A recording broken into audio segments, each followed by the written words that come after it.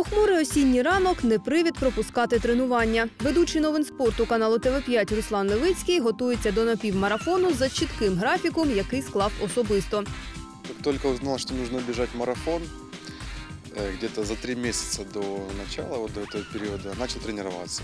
Тренируюсь три раза в неделю, нагрузки не менее вот 10 километров. Это полтора часа максимум. Стараюсь придерживаться того графика, который сам для себя нарисовал. Я посоветовался с тренерами на Open Run Day, которые проводили тренировки. Э, Как бы зная свой организм, зная свои возможности, способности, вот, придерживаюсь такого графика.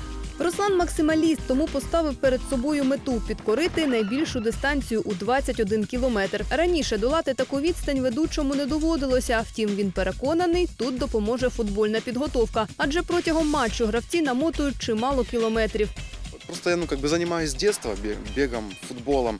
Э, Для меня это не так сложно. За полтора часа это до 10 километров. Потому что даже вот профессиональные футболисты за футбольный матч, если взять там Лигу чемпионов, да, максимальный уровень для топовых клубов, э, клубов Европы, это там 11-12 километров. Ну там сумасшедший темп.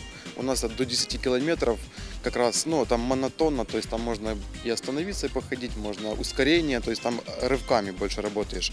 А когда бег это на длинную дистанцию, то есть один темп берешь, ну, гораздо легче. Ведучий новин спорту долучив до підготовки свого товариша. Разом хлопці поступово збільшують навантаження і довжину дистанцій. Перевагу віддають тренуванням на вулиці.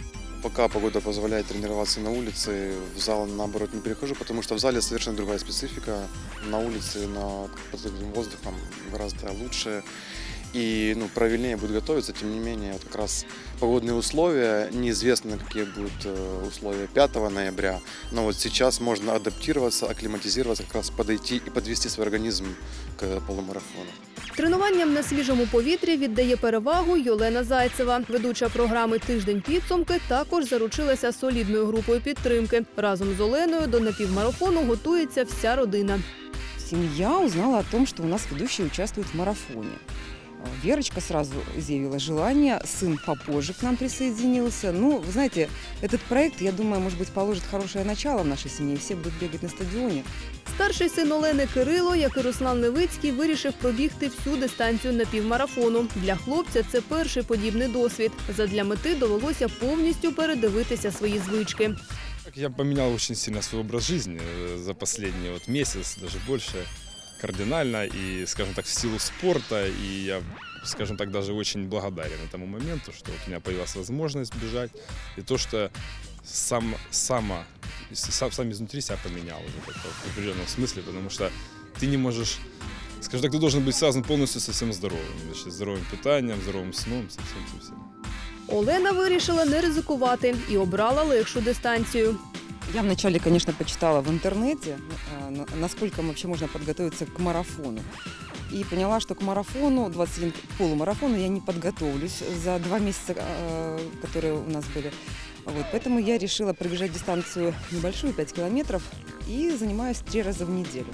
Професійний тренер схвально оцінює графік підготовки, який обрали ведучі каналу ТВ5. Відзначає, якщо Олена та Руслан сумлінно дотримуватимуться режиму, зможуть подолати заплановані дистанції. Достаточно 3-4 рази в неделю тренироваться.